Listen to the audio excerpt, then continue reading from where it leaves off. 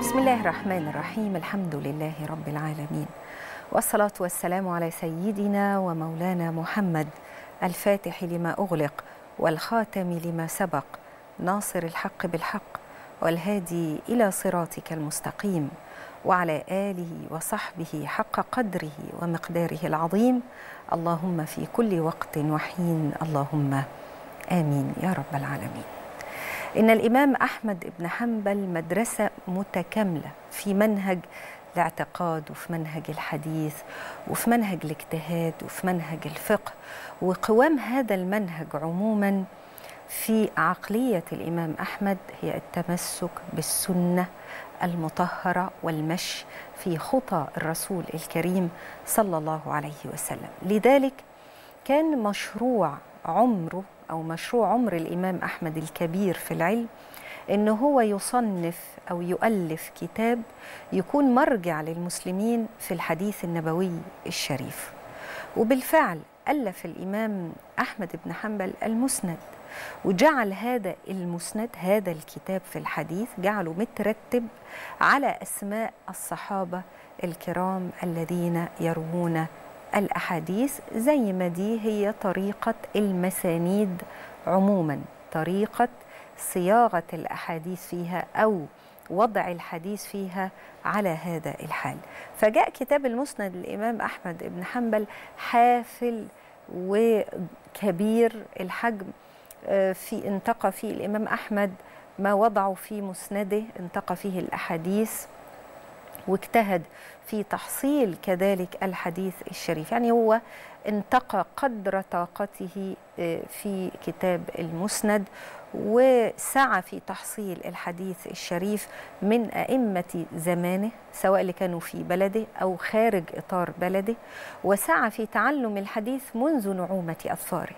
وارتحل وسافر إلى البلدان قدر طاقته سافر للبلدان اللي فيها المحدثين اللي هم علماء الحديث اللي بيعلموا الحديث عشان يتلقى عنهم الحديث النبوي الشريف وعشان يتمكن من جمع أكبر قدر من الحديث الشريف من أهله من أهل الاختصاص عشان يبلغ ويصل إلى تنفيذ ما كان يحلم به الإمام أحمد وهو تصنيف أو تأليف كتاب يكون مرجع للمسلمين في سنة النبي الكريم صلى الله عليه وآله وصحبه وسلم تسليما كثيرا. حتى في مسألة حرصه على طلب العلم وإنه ممكن يقطع مسافات طويلة ويروح إلى بلاد بعيدة من أجل تحصيل أحاديث عالية الإسناد روي إن الإمام أحمد بن حنبل سافر إلى بلاد ما وراء النهر اللي هي الآن بنطلق عليها منطقة آسيا الوسطى. سافر من أجل الحديث الشريف. أورد ذلك الإمام شمس الدين السفاريني الحنبلي في كتابه غذاء الألباب في شرح منظومة الآداب. الإمام السفاريني هو فقيه ومسلم ومحدث وحافظ ومؤرخ وصوفي وهو من علماء فلسطين الكرام. هو اتولد في قرية سفارين عشان كده هو بينسب إلى قريته. وسفارين هذه القرية من قرى طول كرم بفلسطين الحبيبة. الإمام السفاريني هو أحد أعلام الحنابلة الكبار. ذكر الإمام السفاريني في كتابه غذاء الألباب في شرح منظومة الآداب أنه ذكر في كتاب حياة الحيوان للدميري يعني هو أحال إلى هذا المرجع أنه ذكر عن سيدنا الإمام أحمد بن حنبل رضي الله عنه أنه بلغوا أن رجل في بلغ الإمام أحمد أن هناك رجل في بلاد ما وراء النهر معه أحاديث ثلاثية. إيه الحديث الثلاثي يعني بين راوي الحديث وبين النبي عليه الصلاة والسلام؟ ثلاثة فقط ثلاث رواة فقط. وده حديث نوعه بيبقى عالي الإسناد. فرحل ذكر صاحب المرجع إنه رحل الإمام أحمد رضي الله عنه إليه إلى بلاد ما وراء النهر فوجد شيخا يطعم كلبا. أول ما وصل عنده فسلم على ذلك الشيخ فرد عليه الشيخ السلام. وبعد ما رد عليه السلام رجع تاني اشتغل الشيخ بإطعام الكلب كان بيأكل الكلب وبيشرب الكلب. فوجد الإمام أحمد في نفسه. يعني كأنه كده يعني أنا بسلم عليه وهو رد بس السلام وانشغل بإطعام الكلب. فهو وجد شيء في نفسه إذ أقبل الشيخ على الكلب ولم يقبل على الإمام أحمد.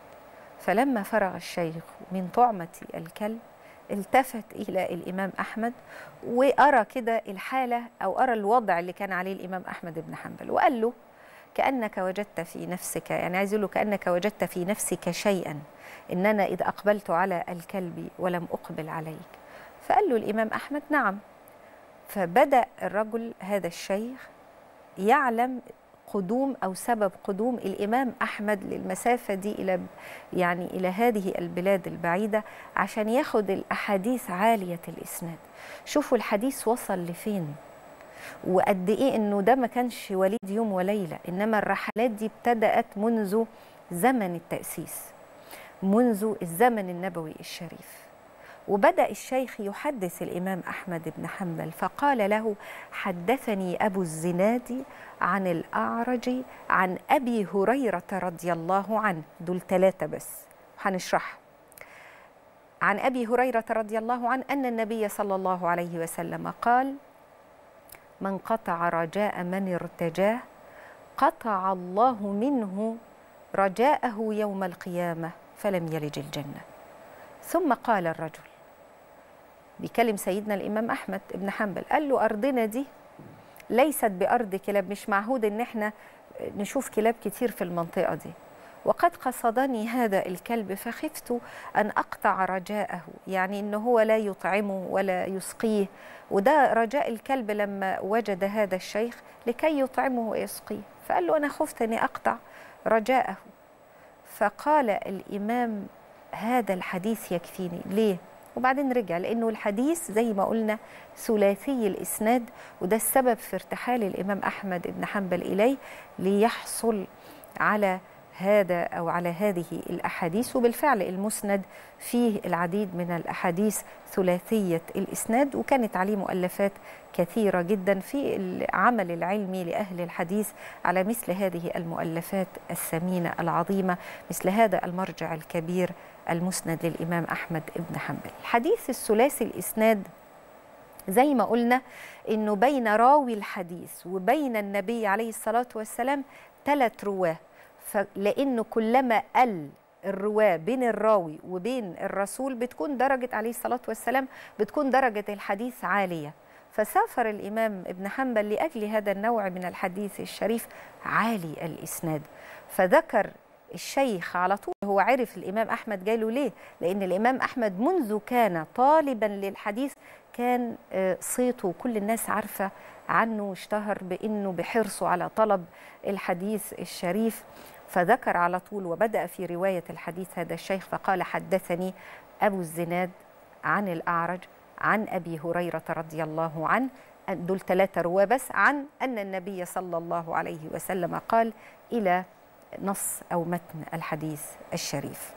وده كان حرص لما بنجيب ده حرص أو هذا المثال ونسوق هذا المثال الطيب من ضمن رحلات الإمام أحمد بن حنبل الكثيرة في طلب الحديث الشريف نؤكد على خدمة علماء المسلمين للسنة النبوية المطهرة. وده كان حرص برضو من الإمام أحمد بن حنبل على تلقي الحديث النبوي الشريف وبالذات كمان الأحاديث عالية الإسناد.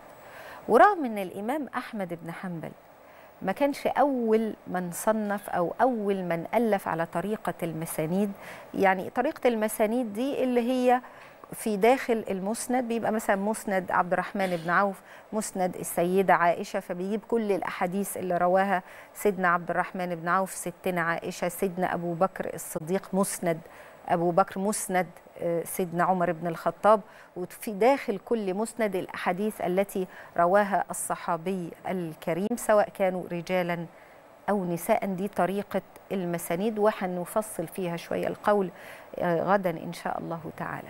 برغم إن الإمام أحمد ما كانش أول واحد ألف على طريقة المسانيد دي إلا أن مسند الإمام أحمد في الحديث الشريف لاقى من الشهرة والذيوع والانتشار ما لم يحظى به مسند آخر لا قبل مسند الإمام أحمد ولا بعد مسند الإمام أحمد. وصار مسند الإمام أحمد في الحديث النبوي الشريف أعظم المسانيد قدرا وأكثرها قيمة ونفعا.